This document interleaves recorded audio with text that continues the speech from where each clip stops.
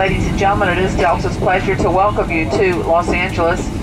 For your continued comfort and safety, remain seated, please, with your seatbelt fastened securely until the captain has parked the aircraft at the gate and turned the seatbelt sign off. This is the terminating point on our flight today. You'll all be leaving us here. We remind you to look carefully around your seat area, especially open those overhead compartments very carefully. Check that area around your feet, your seat, your seat pocket. Be sure you have all of your belongings.